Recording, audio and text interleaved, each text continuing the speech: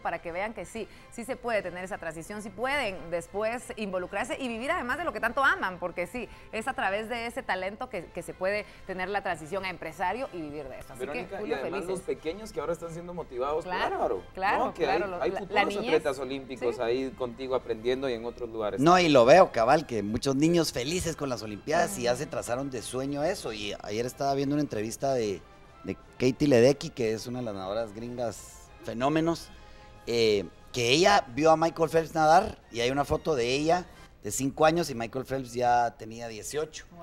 Y ahora está ganando medallas olímpicas. Y dijo, yo vi a Michael Phelps nadar y, dije, me voy a meter a natación. Entonces, y uno lo ve también que los niños en mis escuelas dicen, ala, mi sueño es ir a una olimpiada pues ahí se están creando los sueños y ojalá se logren, ¿verdad? Excelente. Muchísimas gracias Álvaro por estar acá con nosotros y, compartir ese tiempo. Y bueno, esto es un poco de lo que ha sido nuestro país, nuestra bella Guatemala en las Olimpiadas, ya lo sabe usted entonces, ya tenemos un poquito más ese contexto de lo que hemos logrado y bueno, se vienen muchísimas cosas. Mañana estamos eh, por ver a uno de los grandes atletas, a nuestro medallista olímpico, Eric Barrondo, así que tenemos muchísimo por enviar buenas energías, buenos deseos y por supuesto la buena voluntad de los guatemaltecos guatemaltecos que con todo el corazón están haciendo su máximo esfuerzo para dejar todo y traer más medallas a nuestro país. Orgullosísimos desde ya. Hacemos una pequeña pausa comercial, regresamos con más de BLM Revista.